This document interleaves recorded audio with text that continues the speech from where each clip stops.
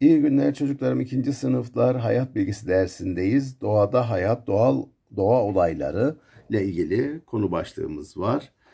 Ne zaman şemsiye kullanırsınız? Yağmur, kar yağdığında kullanırım şeklinde dedik. Aslında şemsiyenin kökü nedir? E, şems güneştir. Güneşten korunmak için üretilmiştir. Ama biz genellikle yağmurda ve karda kullanıyoruz. Şimdi buradaki hava olaylarının şöyle bir yazalım buna. Bu mesela rüzgar diyebiliriz buna rüzgar. Sonra bu kar diyebiliriz. Buraya sis diyebiliriz. Buraya dolu diyebiliriz. Bakın dolu diyoruz buraya. Buraya da yağmur diyebiliriz.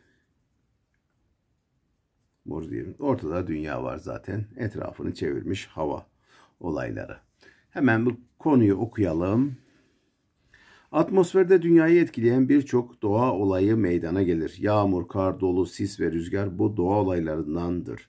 Doğa olaylarından olumsuz etkilenmemek için hava durumu takip etmeliyiz ve gerekli önlemleri almalıyız. Soğuk ve sıcaktan korunmak için mevsimine uygun giyinmeliyiz diyor.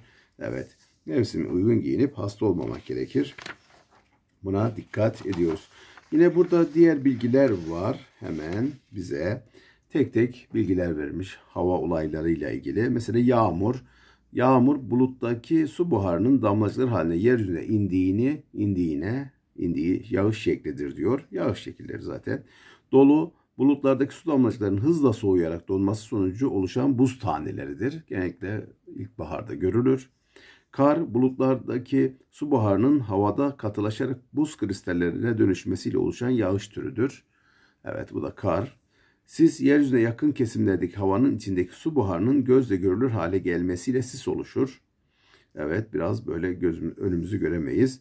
Rüzgar hareket eden ve yer değiştiren hava kütlelerinin oluşturduğu esintidir. Rüzgarın hızı arttıkça fırtına, bora gibi isimler de almaktadır. Doğa olaylarından olumsuz etkilenmemek için neler yapmalısınız anlatınız diyor. Hava olaylarına göre giyinmeli, hareket etmeliyiz. Yani bir yere gideceğimiz zaman da hava durumunu, hava olaylarını takip edip hava durumuna bakıp öyle gitmemiz gerekir diyoruz. Evet geldik buraya etkinlik zamanına. Aşağıdaki bulutların içinde verilen hava olaylarını uygun görsellerle eşleştiriniz diyor. Mesela bu kar yağmış. Buraya ne yapıyorum? Kara getirdim. Burada yağmur yağıyor. Buraya getirdim. Sonra burada bakın rüzgar estiği için kırmızıyla yaptım rüzgar. Burada ise sis var. Gördüğünüz gibi dolu yağışı da burada bulunmamaktadır. Dördünü böylelikle bu etkinlikleri tamamladım. İyi günler diliyorum. Abone olmayı, bildirimleri açık tutmayı unutmayın. Videolar devam ediyor.